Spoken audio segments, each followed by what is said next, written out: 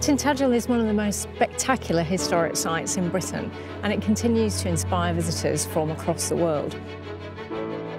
This year we're embarking on a project to construct a bridge, a bridge that will restore a connection which has existed throughout history. The bridge is going to be made out of slate and steel and it's going to have an oak handrail. It was important to us that we use local suppliers and fabricators for these materials. We chose slate because it is a feature of the North Cornwall landscape. We're going to be resourcing the slate from a local Cornish supplier, the Delabole Slate Company. The quarry is about a thousand years old, probably the oldest operating slate quarry in the world. The slate itself was formed about 350 million years ago. So these blocks of 2 to 20 tonne go through primary saws to reduce them in size. They then go over to the splitters the actual splitting process is very much the same as it's always been for centuries. So it's split by hand. The edges will be dressed on a dressing machine. And then they'll be sawn to dimension secondary saws.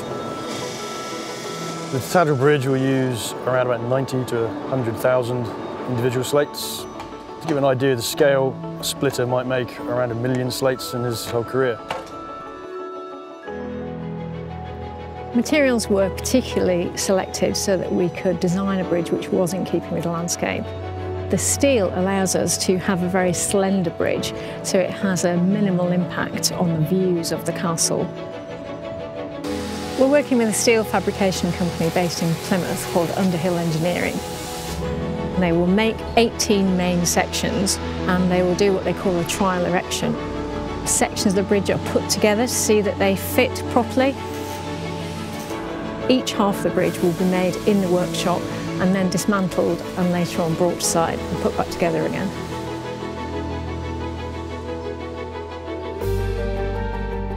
One of the key considerations is logistics.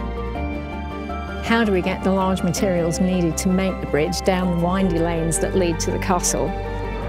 We will be overcoming this by having helicopters that bring in some materials to the site and also by erecting a cable crane which will span the valley and allow us to winch in sections of the bridge when it's ready for installation.